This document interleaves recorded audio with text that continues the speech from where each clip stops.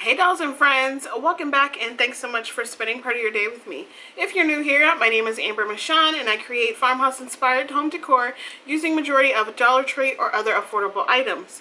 But if you're not new, hey doll, hey.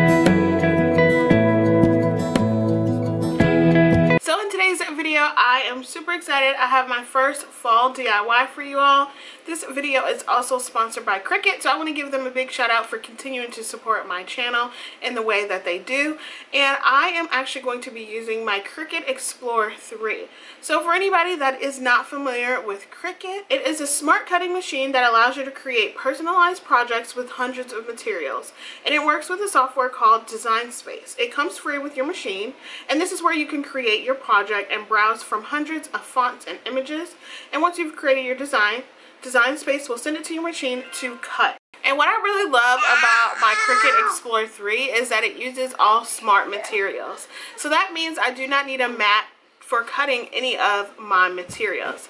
In this video, I'm going to be using some stencil vinyl, some in this video, I'm going to be using some stencil vinyl, some regular colored vinyl, and also some smart paper sticker cardstock. I really hope you guys do enjoy this video and get some inspiration. If you have a Cricut, I know a lot of you guys do have some and you haven't opened it yet. I say, sis, get it out, open it up because it makes your life so much easier. Using a Cricut definitely makes your projects look extremely high end. And honestly, the ease of using Cricut and Design Space is really easy.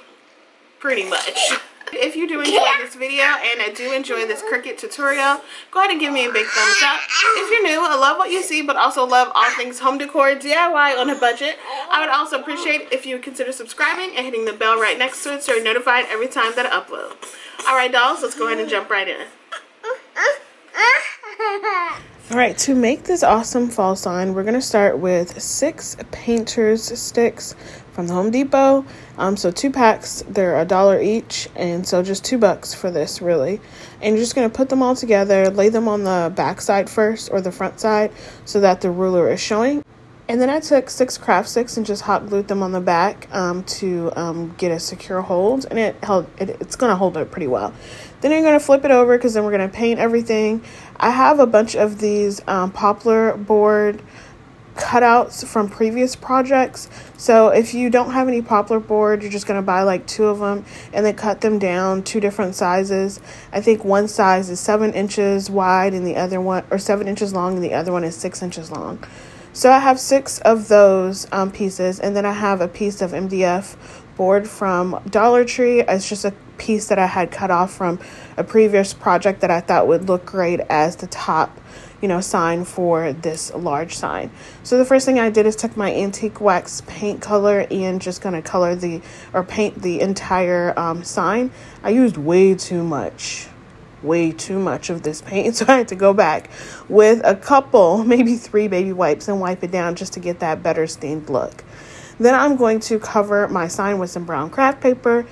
If you've been around for a while, you know that I love finished projects, so that means even covering the back in case, you know, somebody can see the back, in case I want to sell this or something.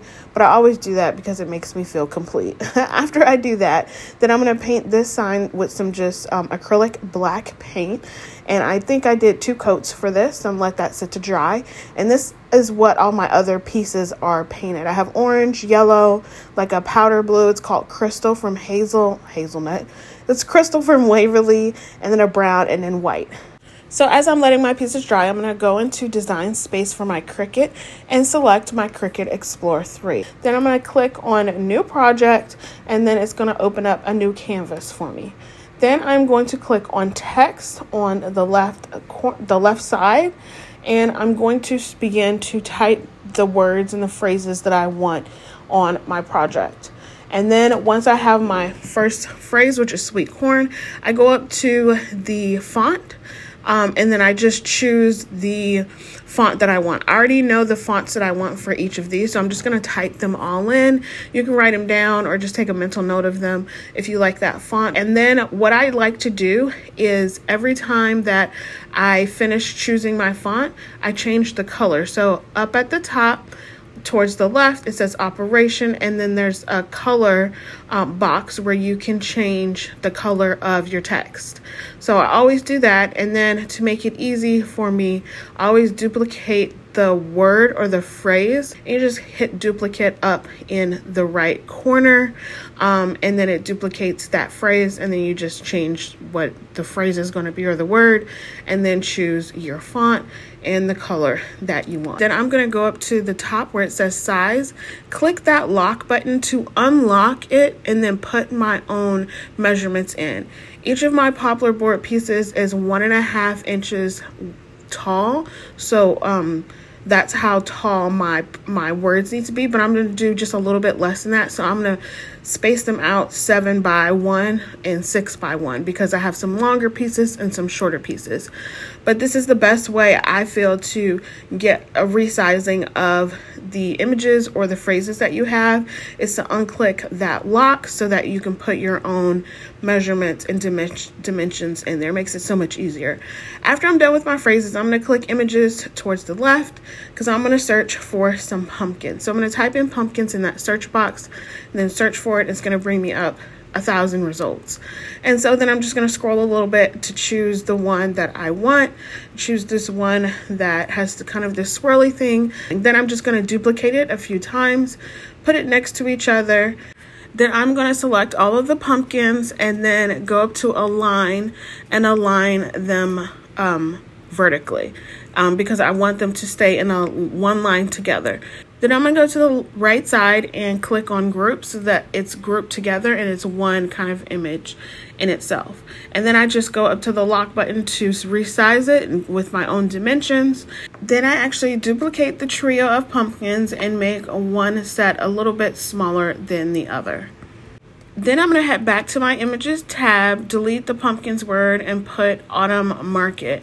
Um, I have recently seen a few signs that have autumn market or autumn farmers market, so I thought this would be perfect to do this with since of the phrases and the words that I have. So I just kind of scroll through and pick the ones that I want. They're really only the top two rows that have, you know, what I was looking for. So I chose just uh, something a little bit more simple and I'm going with the second one but I'm going to do the second row where it's just black and white so it more looks like the stencils. So once I resize that then I'm going to click make it at my top right corner and it's going to sort all of my projects by my mat on my mats by color. So all the colors that I chose it's going to separate those. Um, and then once it's separated them, then it's going to ask me how I'm going to load all of my materials. And I'm doing everything without a mat because I have all smart materials. So I'm going to click on without a mat. And what I like to do is even though some of these I chose different colors. I know at least three of them, three or four of them are going to be um, stencil. So I'm gonna click the three little dots on the, the word and then it, I'm gonna choose move object and then I'm gonna pick the mat that I wanna move it to because I don't want to waste any vinyl. So I just go through and make sure that it's positioned correctly. And then I go through all my mats to make sure that everything is on there correctly and is in the right place. And then I am going to hit continue on my bottom right corner. So once my computer connects to my Cricut, then I am going to choose the material. My base material for this, for the first mat, is going to be my stencil vinyl. And it's smart stencil because I have smart materials. Then for my pressure, I always choose more because I just feel like it would go, it would cut through better. And then that's pretty much it with Design Space. You are then going to go to your Cricut and hit the buttons that you need to but hit but this is how the process looks on your computer when it's cutting out. But when you are on your Cricut you're going to hit the flashing arrows that you need to load it into there. And I absolutely love this roller that I have this Cricut you know vinyl holder roller thing. And then you just click play, the play button when it's ready to start cutting, and then it'll cut away. And then when it's done, you hit the arrows to unload it. And my favorite thing about this Cricut roller is that you just pull it out or you just, before you unload it, you can just cut it down and it's cut down and you don't waste any vinyl. That is my favorite part. But once all of my, uh, my vinyl and my cardstock is done, then I'm just going to start weeding everything out. The process of weeding with your Cricut, you use your weeding tool to um, peel up any unwanted vinyl that you have down on your sheets. This also includes my paper cardstock, my sticker paper cardstock. I absolutely love using cardstock for different projects. It gives a different type of texture and dimensional like look to projects that I think uh, I don't think a lot of people really use cardstock that much. I know a lot of people use vinyl, but my favorite two are cardstock and stencil vinyl because I don't buy a lot of vinyl like different colored vinyls and I just love the different shades of paint. So that's why I really love um, using stencil vinyl because I can change any project to any color that I want. Once everything is weeded out, now it's time for me to transfer everything over. Also love Cricut's transfer tape too. I love it because it has the nice sticky value, but it's also really easy to use and then just reuse as well. Now that I have been getting used to using it more and figuring out how I need to use it, it's gone a long way. So after everything is transferred over, then I'm just going to take my paintbrushes and my various colors of paint, which are going to be white, a burnt umber color, um, and a yellow, and I think just like a, a caramel color for my larger sign. And I'm just going to paint over all of those things. And I gave everything two coats. For my larger farmer's market sign that'll go at the top, I also painted the outside around the border so you could see a little bit better what the sign was and I thought it just gave it more of a rustic farmhouse touch that I absolutely love so I did that and I only I just did it like a heavy dry brushing on that because I knew I was gonna sand heavily sand down. So um after I did that I placed my pumpkin images onto one of my little planks and I alternated the pumpkins. One large one small one large one small and so on and so forth until I had five that fit perfectly onto that plank. Then I am going to sand down all of my little planks and I just use my finger sander to give it some heavy heavy sanding you guys. I really wanted this farmhouse rustic look really really good. And then i took um, a couple of different brown like a light brown and a dark brown and just kind of distressed the edges and then distressed a little bit on the inside of it and then heavily distressed that large farmers market sign um, to where you could see a little bit of the white the black and some of even the brown mdf board on the uh, middle as well. Then I just kind of wiped everything down to get all of the dust away. Now it's time for me to assemble everything and I just kind of randomly place everything, but I do alternate the lengths of the plaques, uh, of the planks so the fresh jam is a little bit longer than the sweet corn and so on and so forth. Then I just hot glue everything down into place where I have it. And that is it for this fall sign. I absolutely love it. I think it is adorable. I actually plan on putting this outside by my front door on a table. Um, when it rains, of course, I don't have a covering over like my door, so I'm gonna have to bring it inside. But I think it's so, so cute. It's just adorable. It was super easy to make. It was literally, it cost me two bucks because I had to get the paint stir sticks. But y'all, how adorable is this? No one else makes me feel this way don't know what you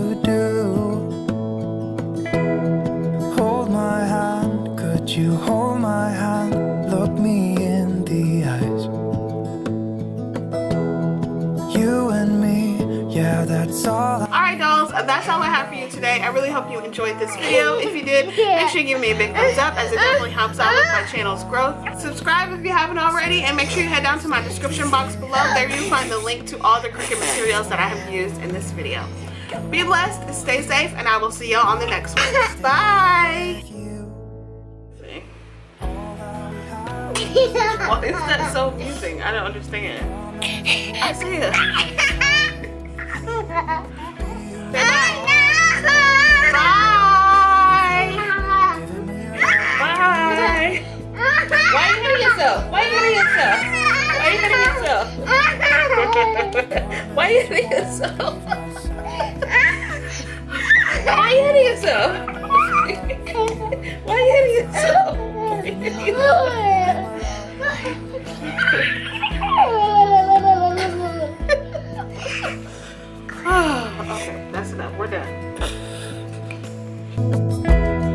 Tell me what what you wanna do, I'll do anything.